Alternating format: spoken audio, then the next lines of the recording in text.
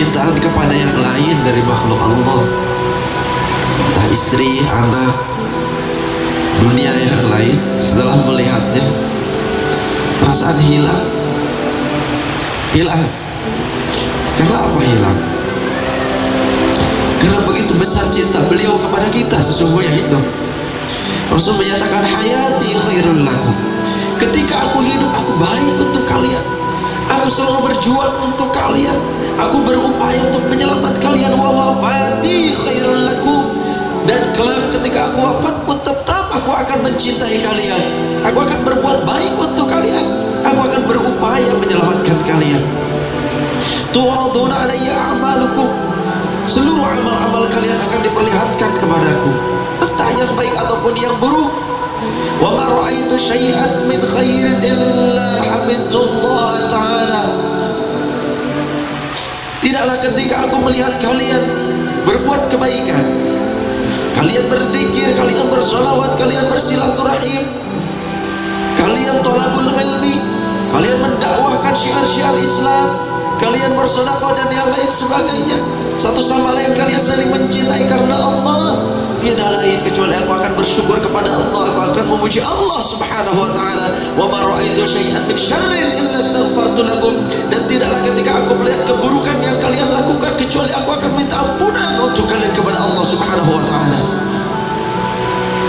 Itulah cinta Rasulullah sallallahu alaihi wasallam yang setiap saat beliau akan meneliti dan melihat apa yang kita lakukan beliau akan memperjuangkan untuk kita memperjuangkan ampunan dari Allah subhanahu wa ta'ala untuk kita memperjuangkan rahmat-rahmat Allah untuk kita sekalian. Itulah cinta Sayyidul Mursalin Sayyidina Muhammad sallallahu alaihi wasallam. Rindunya setiap saat kepada kita cintanya setiap saat kepada kita akan tetapi sering kali kolbu kita tertutup dan mengkhianati cintanya sehingga kecintaan kepada dunia kecintaan kepada selainnya itu lebih besar dibandingkan kecintaan kepada beliau yang telah diberitakan oleh Allah Subhanahu wa taala agar kita jadikan beliau sebagai makhluk yang paling kita cintai makhluk yang paling kita sayangi dari seluruh makhluk-makhluknya Allah Subhanahu wa taala. Andaikan kita tahu bagaimana cintanya Rasulullah wasallam kepada kita pasti kita tidak akan ingin bekerja. Andaikan kita tahu apa yang telah dimintakan oleh Rasul sallallahu alaihi wasallam untuk kita pasti tiada lain dari ucapan-ucapan zikir kita kecuali itu adalah solawat kepada Rasul sallallahu alaihi wasallam untuk apa untuk mensyukuri apa yang telah diperjuangkan oleh Rasul sallallahu alaihi wasallam. Man lam yashkuril qalila man lam yashkuril qalila lam yashkuril kathir. Siapa orang yang tidak mampu mensyukuri nikmat yang kecil maka dia tidak akan mampu nikmat yang besar itu disyukurinya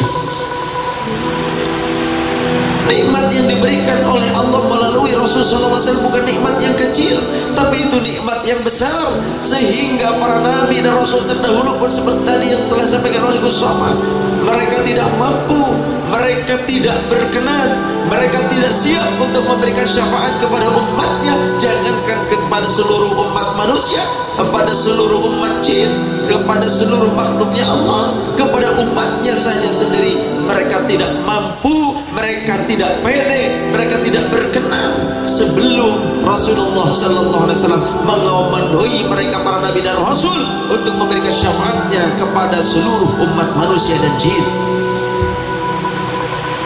Itulah hak prerogatifnya Allah yang telah diberikan oleh Allah subhanahu wa ta'ala untuk Rasul sallallahu alaihi wasallam. Demikian luasnya rahmat Allah. Sehingga tidak bisa dipendekkan ataupun disempitkan oleh persepsi manusia yang mana ada manusia yang mempersepsikan bahwa Allah Subhanahu wa taala seolah-olah tidak memiliki, tidak membuat, tidak menyiapkan pintu-pintu rahmatnya yang begitu banyak. Mereka menyempitkan pintu rahmatnya Allah seolah-olah Allah tidak berhak memberikan pintu rahmat itu melalui hamba-hambanya. Jangankan para nabi dan rasul yang mampu menyelamatkan dan memberikan syafaat yang lain pun bisa memberikan syafaat. Sebagaimana di dalam kitab Mafahim Yajid Antusohbah dikutip dinukil beberapa hadis dari Rasul sallallahu alaihi wasallam yang baginda Rasul menyatakan idza adalla ahadukum syai'an aw arada 'aunan wa huwa bi ardin laysa biha anisun falyaqul ya ibadallah a'inuni ya ibadallah a'inuni fa inna lillahi ibadan la narahum jika ada di antara kalian salah seorang di antara kalian yang tersesat di suatu tempat entah itu di hutan atau di gurun ataupun di gunung yang tidak ada seseorang yang tidak ada penghuninya di daerah tersebut maka ucapkanlah oleh kalian ya ibadallah ainuni wahai hamba-hamba Allah tolonglah aku. Wahai hamba-hamba Allah tolonglah aku. Fa inna lillahi Allah memiliki hamba-hamba la narahum yang kalian tidak mampu melihat mereka. Yang kita tidak mampu memandangnya mereka bisa jadi para malaikat mereka bisa jadi hamba-hamba Allah yang lainnya. Entah manusia yang gaib manusia yang tidak mudah dipandang oleh kasat mata yang memang berkeinginan untuk menyembunyikan dirinya dari khalayak ramai ataupun hamba-hamba mana pun hamba-hamba Allah yang telah ditetapkan oleh Allah subhanahu wa ta'ala agar mereka menjadi makhluk yang bermanfaat. Sebaik-baik hamba Allah adalah yang bermanfaat bagi sesama. Kalimat ini bukan hanya ditunjukkan kepada umat manusia saja. Walaupun khitabnya di sini adalah manusia khairun nas anfa'uhum linnas akan tetapi bukanlah maksud kalimat hadis ini hanya disempitkan terhadap manusia saja. Tapi kalimat ini pun berhak untuk diamalkan oleh bangsa selain manusia. Contoh jin. Jin diciptakan oleh Allah sama seperti manusia agar mereka beribadah menghamba kepada Allah Subhanahu wa taala ketika Rasul Shallallahu Alaihi Wasallam membacakan Al-Quran maka sekelompok dari bangsa jin datang mendekat kepada Rasul Shallallahu Alaihi Wasallam. Kemudian mereka mendengarkan kalimat-kalimat atau firman-firman Allah tersebut. Maka kemudian baginda Rasul pun memerintahkan mereka untuk pergi ke kaumnya untuk pergi ke kelompok mereka dari kalangan jin dan menyampaikan firman Allah yang dibacakan oleh Rasul Shallallahu Alaihi Wasallam mereka pun bangsa jin tersebut bersyahadat di hadapan Rasul sallallahu alaihi wasallam dan kemudian menyampaikan risalah-risalah Rasul sallallahu alaihi wasallam di antara kaum mereka sendiri. Kemudian di antara mereka saling menolong untuk mengenal hidayah. Rasul menyampaikan, "Man da'a ila hudan falahu ajru mithlu fa'ilihi." Siapa orang yang mengajak kepada hidayah, maka dia akan mendapatkan pahala sebanyak orang-orang yang mengikutinya. Tanpa dikurangi sedikit pun. Kalimat ini pun tidak hanya disempitkan untuk manusia tapi mereka bangsa jin pun. Banyak yang berdakwah di antara mereka menyampaikan risalah-risalah. Di antara bangsa jin juga ada banyak kalangan ulamanya kalangan ulama dari bangsa mereka menyampaikan kebaikan. Artinya mereka bermanfaat untuk bangsanya dan mereka mengajak kepada bagian bagian hidayah. Oleh karenanya mereka pun mendapatkan fadilah dari kalimat khairun nas anfa'uhum linnas di antara mereka saling membantu dalam kebaikan ada. Banyak sekali kisah-kisah di mana bangsa jin tersebut datang kepada Rasul sallallahu alaihi wasallam untuk membantu perjuangan Rasul Shallallahu Alaihi Wasallam ada. Begitu. Itulah Rasul Shallallahu Alaihi Wasallam. Bukan hanya Nabi untuk kalangan manusia tapi rahmatan lil alamin. Rahmat bagi seluruh alam. Bukan bangsa jin saja bahkan yang bisa bermanfaat untuk yang lain. Kalangan hewan pun ternyata bisa bermanfaat untuk yang lain. Bahkan hewan yang mereka berbakti berkhidmat kepada orang-orang yang soleh dari kalangan hamba-hamba Allah mereka kelak akan mendapatkan nikmat surga. Di surga mereka tidak akan dihancurkan mereka tetap akan menjadi seperti layaknya mereka ketika di bumi. Khidmir seekor anjing yang mengikuti ashabul kahfi yang ashabul kahfi ini merupakan ulama orang-orang yang alim pada masanya mereka memahami ketauhidan kepada Allah Subhanahu wa taala. Kemudian mereka Ashabul Kahfi mengajarkan dan menyebarkan ajaran-ajaran tauhid kepada umatnya pada saat itu, kepada orang-orang pada masa itu. Lalu kemudian ada seekor anjing yang ikut serta mengawal kelompok Ashabul Kahfi ini.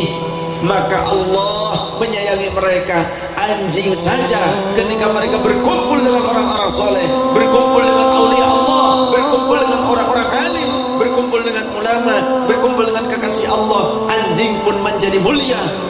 anjing ini kelak akan tetap menjadi anjing di surga yang mendapatkan nikmat nanti di surga. Anjing. Oke okay, kalau anjing mungkin kita paham bisa menjaga bagaimana dengan kodok. Kodok saja ternyata. Ketika Raja Namrud membuat api yang berkobar sedemikian rupanya kemudian dimasukkanlah Nabi Allah Ibrahim alaihissalam ke dalam kobaran api tersebut. Ternyata ada seekor kodok yang sangat menyayangi kekasih Allah. Seekor kodok yang memahami siapa yang dibakar ini. Ia adalah Rasulnya Allah. Ia mencintai Nabi Allah Ibrahim alaihissalam yang secara kedudukan di mata Allah tentu hakikatnya jauh dibandingkan dengan Nabi Muhammad. Nabi Muhammad SAW jauh lebih mulia daripada Nabi Allah Ibrahim alaihissalam walaupun leluhurnya beliau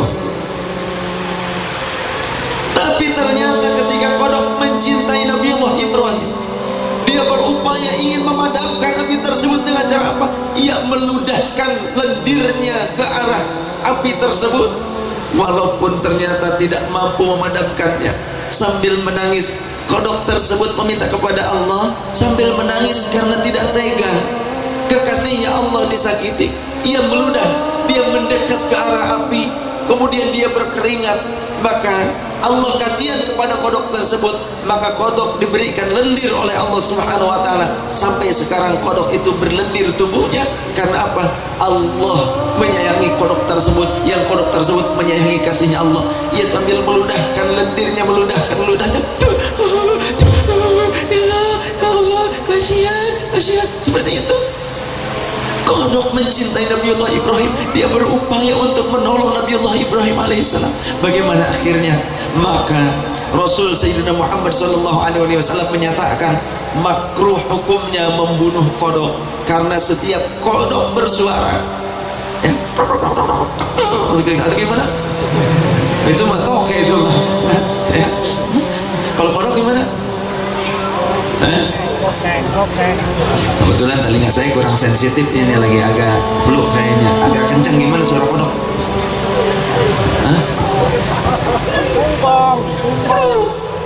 itu mah poliponik itu mah. Ya. Ada di tengah-tengah coba-coba. Kurang-kurang kedengar. Suara kodok. Pura-pura lu lu kodok juga. Pak mau ngaku. Ah, seperti itu. Ya. Suara kodok ternyata apa? Tasbih. Suara kodok itu tasbih kalau kodok saja senang berzikir kenapa sekarang banyak manusia yang mengaku umat Nabi Muhammad SAW yang disyariatkan berzikir yang disyariatkan bersolawat yang disyariatkan mencintai para Nabi dan Rasul terlebih lagi Nabi Muhammad SAW kenapa mereka yang mengaku umat Nabi Muhammad tersebut ternyata malah benci zikir benci solawat benci kepada para pecinta Rasulullah Wasallam? Kenapa? ayo saya berdiri. Ngerjain tukang kamera bencinya terhadap Rasul Sallallahu Alaihi Wasallam tapi mereka masih toh-tohan berupaya untuk membela diri dan menyatakan sebagai orang yang mencintai Rasulullah tapi ternyata pada hakikatnya mereka membenci Rasulullah Sallallahu Alaihi Wasallam. Mereka membenci kepada kita yang berkumpul bersolawat yang berkumpul bermunajat kepada Allah subhanahu wa ta'ala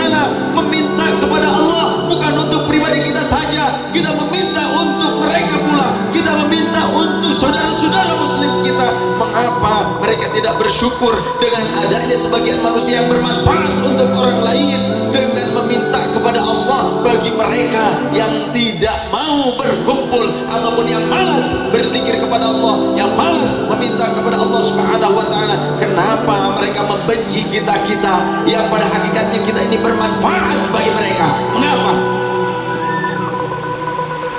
Padahal bisa jadi seseorang selamat itu suatu kelompok masyarakat selamat karena ada seseorang yang dicintai Allah. Allah menjelaskan di dalam Al-Quran walaula daf'ullahi nasa ba'dahum ala ba'd la fasadatil ard.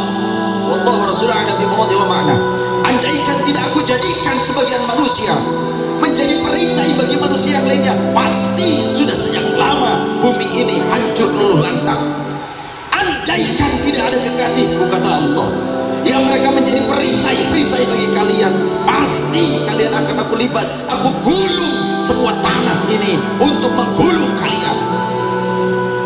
Tapi mengapa banyak manusia yang tidak menyadari itu? Karena mereka salah gaul akhirnya gagal paham. Baginda Rasul menyatakan almar'u ala dini khalilihi seseorang tergantung agama temannya. Artinya apa? Kalau kita bergaul senang bersahabatnya dengan orang yang lemah iman maka bisa jadi kita terbawa lemah iman. Ketika seseorang bergaul dengan orang-orang soleh dengan vokalis hadroh minimal silung-silung senang solawatan saya ini mat. Yang silung saya. Daripada sulit. Ah sering bergaul dengan wanita maka nantinya jadi eke begitu. Ya? Terus senang bergaul. Seseorang bergaul dengan bencong LGBT nanti. Ya menurut psikolog yang namanya penyakit penyakit apa homoseksual kemudian seperti lesbian ini bisa menular ya karakter sifat buruknya itu bisa nular. Awas hati-hati. Dan ini benar terbukti. Ini menurut psikolog. Bisa menular. Selain juga penyakit bisa menular dari sifat seperti itu pun bisa menular. Awas hati-hati. Jangan ikutan LGBT mendingan LGBT nya ala AR apa itu? Lepet gemblong bala-bala tahu isi. Jadi LGBT kita mengenyangkan. Lepet gemblong bala-bala tahu goreng nah ayat hidup bala-bala lah pokoknya nama ya hidup bala-bala. Hidup gemblong hidup lepet.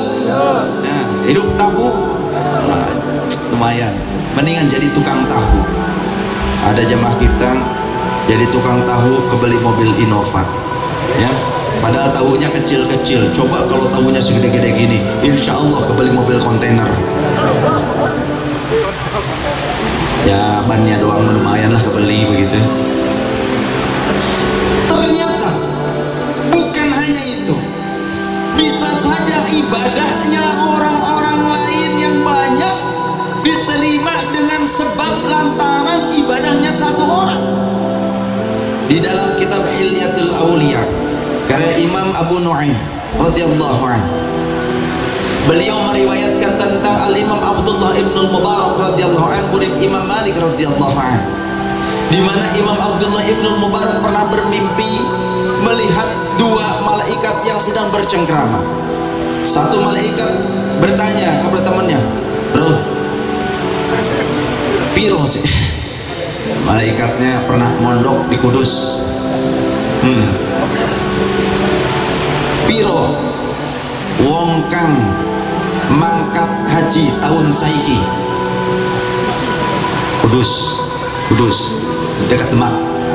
Jadi malaikatnya pernah mondok di Mbah Bashir di Cepulo ya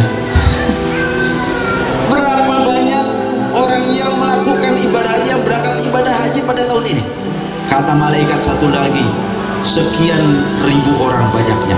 Wah nambah banyak berarti ya? Iya. Mabrur kabeh. Orang begitu.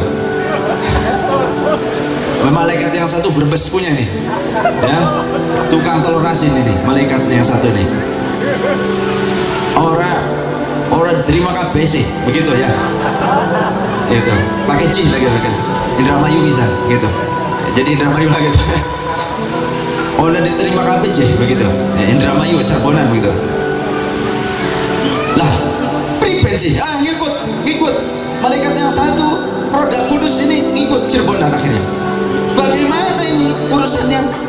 Sekian ribu orang berangkat ibadah haji tapi kok nggak diterima? Berarti sekian banyaknya harta yang sia-sia? Demikian pula waktu tersia-siakan begitu banyaknya. Ya begitu deh begitu. Kata malaikat ya malaikat begitu. Kata malaikat yang ini. Tapi tenang dulu bro. Jangan langsung gegeran. Kan sekarang mah banyak orang gegeran. Kalau ada yang LC langsung oh kagum padahal LC nya LC Lipia Jakarta. Ya kan? Asal ada LC oh, Mesir Mesir. Borok Mesir Lipia Jakarta ada yang MA oh MA MA padahal maling agama. Yang sunnah dianggap bid'ah maling agama. LC nya lucu dan culut begitu. Bukan license bukan. Lucu dan culut saja. Lucu lucu. Begitu.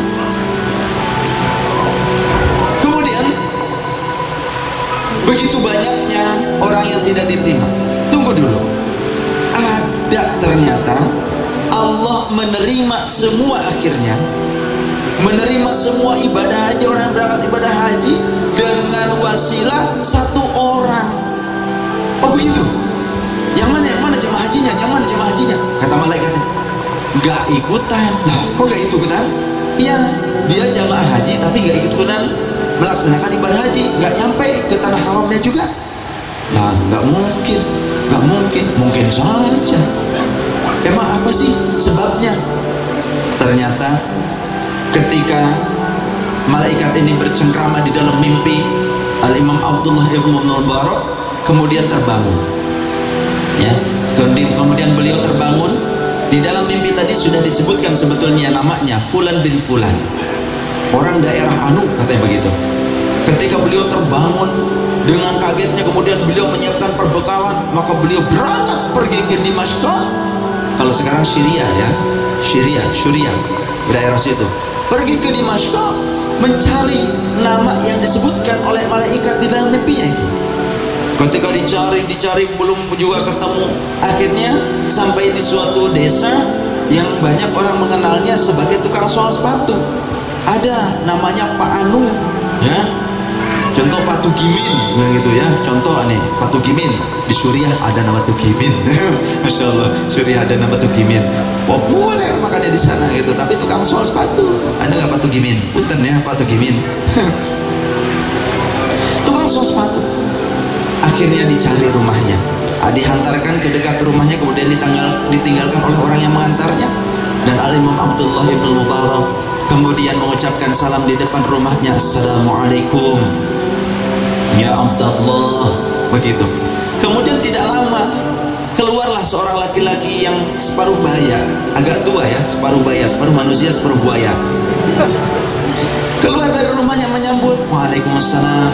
Siapakah tuan? Ada perlu apa ke rumah saya? Kata begitu. Saya Abdullah ibnul Mubarak yang jauh dari Madinah. Uh, ingin bertemu Masya Allah ketika mendengar nama beliau maka langsung meraih sang imam kemudian diciumi tangan sang imam dan dipeluk tangan sang imam. Begitu.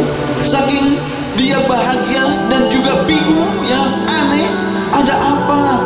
Anda adalah orang yang besar anda adalah orang yang mulia anda adalah seorang muhadid anda adalah seorang ulama yang wah luar biasa. Saya kagum kepada anda. Anda orang yang besar wahai imam. Bahkan anda pun dimuliakan oleh para para pembesar. Apa tujuan anda datang ke rumah saya? Kata si bapak tukang soal tadi. Kemudian kata Imam Abdullah bin Mubarak sambil senyum bolehkah terlebih dahulu saya duduk? Oh iya iya iya. Lupa mempersilahkan duduk. Akhirnya dipersilahkan duduk. Dipersilahkan duduk. Setelah dipersilahkan duduk beliau ceritakan tentang mimpinya. Di mana kemarin saya bermimpi melihat dua malaikat yang sedang berbincang ngobrol jojong yang menyatakan bahwa di tahun ini ada sekian banyaknya orang yang melaksanakan ibadah haji tapi semuanya tidak diterima. Namun Allah akhirnya menerima ibadah haji mereka semua dengan wasilah seseorang yang berangkat haji tapi tidak sampai ke Baitullah. Dan si malaikat itu menyebutkan namamu wahai bapak. Begitu. Mendengar penjelasan dari sang imam si bapak tua tersebut menangis sejadi-jadinya. Menangis sejadi-jadinya dan dia berkata tidak mungkin. Demi Allah tidak mungkin seorang imamul muslimin akan berkata dusta. Tidak mungkin seorang perawi hadis-hadis Rasul, murid dari Imam Malik yang terkenal kejujurannya itu tidak mungkin berdusta. Lantas bagaimana mungkin wahai imam saya menjadi wasilah atas diterimanya seluruh jamaah haji yang mungkin saja di antara jamaah haji itu banyak para ulamanya, banyak orang-orang solehnya juga. Saya tidak sampai ke sana. Kenapa menjadi wasilah diterima mereka semua? Begitu. Oleh karenanya saya datang ke sini Pak.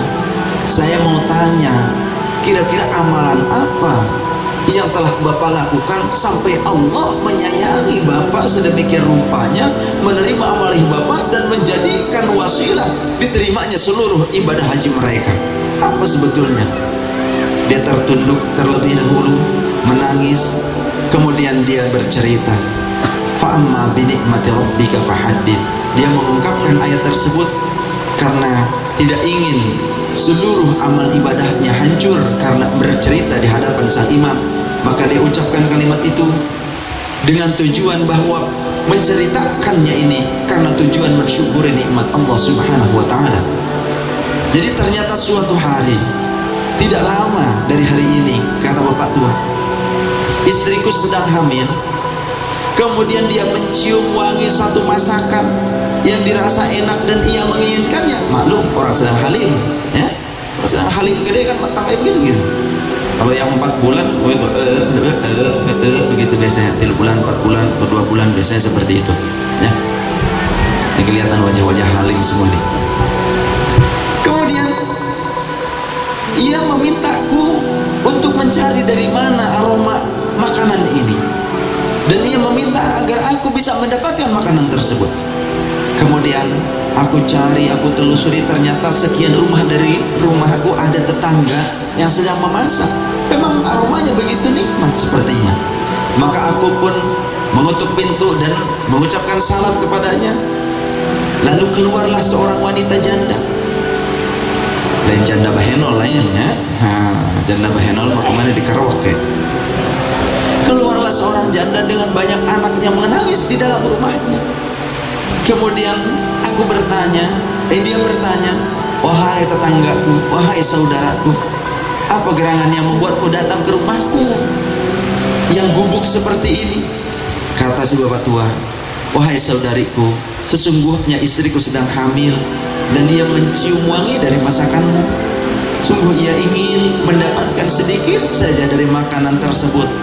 Maklum orang hamil kadang macam-macam ya ingin merebus wajah suaminya gitu. Ingin telinga suami kadang begitu kan? Itu ingin nyate bola matanya suami gitu. Biasanya orang-orang hamil begitu. Ya tapi kalau nggak hamil masih begitu. Ah, emang karakter itu berarti. Karakter mutilator tukang mutilasi. Kemudian kalau perlu kata si bapak tua kalau perlu saya bayar akhirnya dengan tertunduk wanita tersebut sambil menangis berkata wahai saudaraku makanan ini halal untuk kami tapi haram untuk kalian kata si bapak tua mana mungkin kita sama-sama muslim Gak ada istilah Muhammadiyah, NU, LDII, Islam Nusantara, lain sebagainya, begitu kan? Wahabi gak ada, zaman itu mah gak ada, gak. Gak laku, Wahabi. Gak laku waktu itu mah Wahabi gak laku. Laku kamu sekarang-sekarang baru-baru baru nongol baru gitu bagaimana mungkin perkara yang halal untukmu itu haram untukku padahal kita kan sama-sama muslim ya tanggaku wahai saudaraku sesungguhnya kami ini adalah orang yang kelaparan ketika anak-anakku kelaparan ia menangis dan sebagainya maka andaikan tidak kami memakan sesuatu maka pasti kami akan mati. Kata wanita tersebut. Maka aku datang ke tempat pembuangan sampah. Aku berharap ada sedikit bekas-bekas makanan yang dibuang ke tempat sampah yang masih bisa kami konsumsi. Ternyata aku menemukan seekor keledai kedelai yang mati dibuang di tempat sampah maka aku ambil sebagian dagingnya yang masih bisa dimanfaatkan yang masih bisa dikonsumsi. Kemudian aku masak aku berikan bumbu-bumbu dan rempah-rempahan sehingga hilanglah bau daripada bau bangkai tersebut. Maka ini halal untuk kami tapi haram untuk kalian. Ini adalah makanan bangkai. Mendengar kalimat itu penjelasan dari wanita itu si bapak tua ini kemudian menangis dan dia berlari ke rumahnya. Dia mengambil sekotak uang simpanannya yang sudah sekian tahunnya ia simpan untuk berangkat ibadah haji berdua dengan istrinya. Kurang lebih sekitar 11 tahun nabung ya. Dia pergi ke BSM Bank Syariah Mandiri. Cut cut cut bukan iklan. Kalau mereka ngasih duit mah nggak apa-apa. Kemudian dia bawa uang tersebut tergopoh-gopoh wahai saudariku saudariku buka-buka. Ya kaget ada apa wahai saudaraku? Ini aku bawa akan simpanan simpanan milikku. Aku minta kau pergunakan ini untuk membenahi rumahmu dan juga memberikan makan untukmu dan juga untuk anak-anakmu gunakan ini untuk makan kalian. Gunakan ini untuk kehidupan kalian. Dan juga benahi ini rumah kalian yang hampir roboh ini. Begitu. Bukan hampir sudah roboh. Sehari sebelum umroh. Pagar itu mah kemudian si wanita itu tadinya nggak mau nerima. Janganlah engkau repot-repot seperti ini. Biarlah kami memakan daging bangkai tidak tidak tidak. Sudah ini tolong diterima aku memaksa agar engkau mau menerimanya seperti itu. Maka diterimalah pemberian yang begitu banyak ya. Ongkos ibadah haji berdua ternyata diberikan kepada keluarga yang fakir miskin itu. Maka di situ dia berkata dia menengadahkan tangannya kepada Allah. Dia menengadahkan tangannya ke arah langit. Bukan berarti Allah ada di langit kemudian dia memandangkan wajahnya ke arah langit. Ya Rabbi ya Rabbi